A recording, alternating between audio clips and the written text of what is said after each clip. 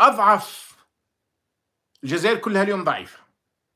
لكن الحلقة الأضعف في الجزائر هو الجنوب عموما وأقصاه خصوصا. لماذا أقصاه خصوصا؟ لأن أقصى الجنوب عنده حدود نتاع 3000 كيلومتر. تقدر تقول 4000 كيلومتر. مع دول أخرى. ليبيا عندنا معها حوالي 1000 كيلومتر. النيجر حوالي 1000 كيلومتر. مالي أكثر من 1300 كيلومتر. وموريتانيا أكثر من 400 كيلومتر. لو نجمعوهم كلهم نلقاهم 3700 كيلومتر. خاصة الحدود المالية النيجيرية وإلى حد ما جزئيا في ليبيا وجزئيا موريتانيا هذا كله أقصى الجنوب. من هنا ستكون الكارثة لا قدر الله على الجزائر. ومن هنا راح يتم التخطيط لتدمير الجزائر علما أن اللي يرأس هذه الصنفونية اللي هي دولة الإمارات دولة المسخ هذه تعرف نقاط الضعف ونقاط القوة. خليني نقول لكم بعض نقاط الضعف.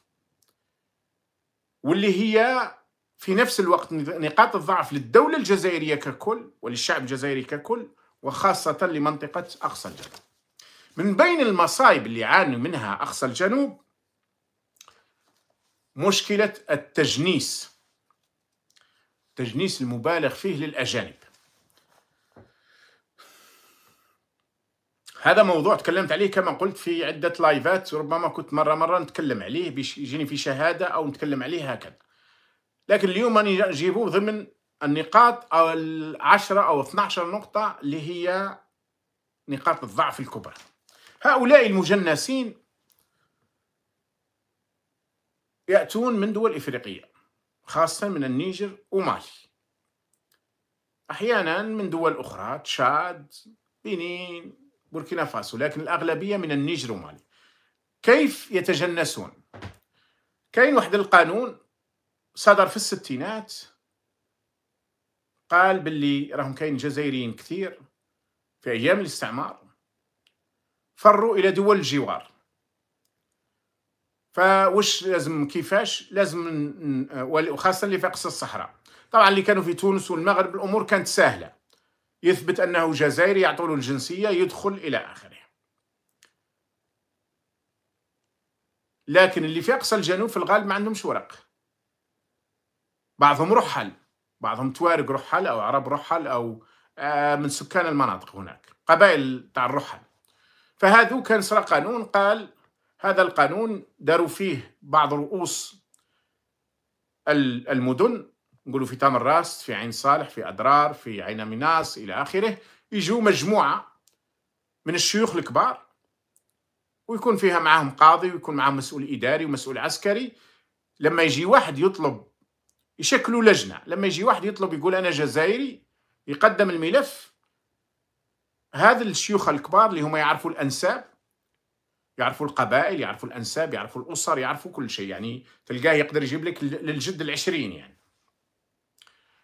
يعطوا الموافقة نتاعهم ولا لا للجنة الإدارية اللي مشكلة من قاضي ومشكلة من مسؤول ولائي إلى آخره مسؤول عسكري ومسؤول أمني.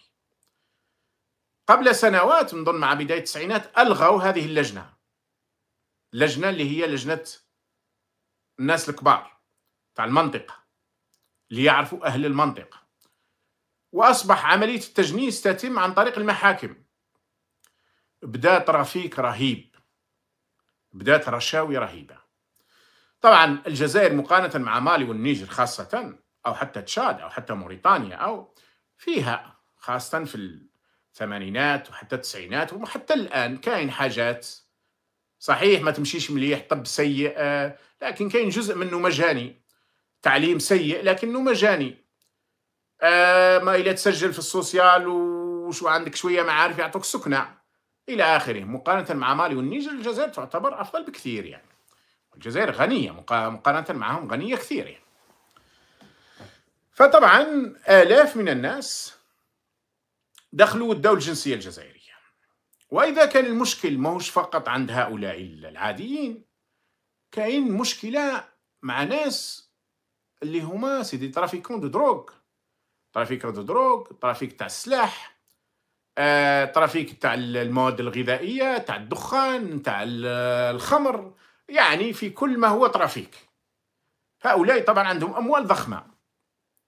ولأن عندهم أموال ضخمة ولأن الرشوة معشه في الإدارة الجزائرية بدل ما يستنى عامين ثلاثة باش يعطوا له الجنسية. يمد 50 مليون 100 مليون 70 مليون 20 مليون على حساب الأوضاع وتجيه الجنسية أحيانا في أربع شهور أو في شهرين أو حتى في سمانتين. حدثوني على بعض الناس جاتهم الجنسية في سمانتين. طبعا هو يولي جزائري. بعض هؤلاء ما اكتفوش بالمال أنهم ولاو جزائريين ولاو يدخلوا يخرجوا للنيجر هو راهو نيجيري في الأصل أو مالي في الأصل أو حتى تشادي في الأصل. لكن أصبح جزائري أيضا. فيدي الامتيازات من داخل الجزائر لكن الأخطر ولاو يدخلوا في السياسة. البعض منهم وين دخلوا؟ دخلوا ال RND وال FLN فولاو في المجالس البلدية في المجالس الولائية. بعضهم وصلوا ولاو des députés المرة اللي فاتت حضرت أنا واحد député برلماني. كاين اللي وصلوا ولاو sénateurs.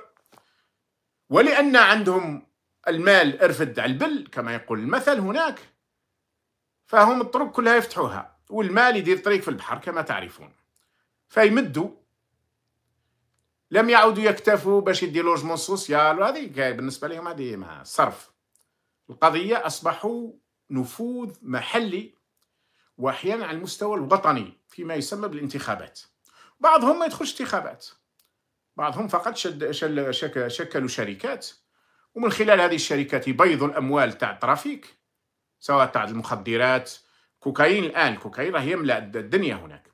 أو trafic تاع الحشيش أو trafic تاع الدخان أو تاع الويسكي أو غيره من ال trafic. فأصبح عندهم نفوذ. يستطيعون يروحوا للوالي يدهنوه. chef secteur. مسؤول الأمن مسؤول المخابرات في يديه.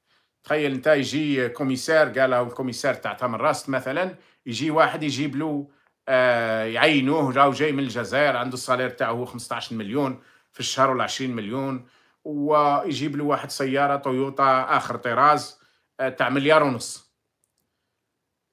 واحد آخر يجيب له سيارة للمرأة. وإذا عنده بنت وبنو يجيب لهم سيارات أيضا خلاص يولي في يده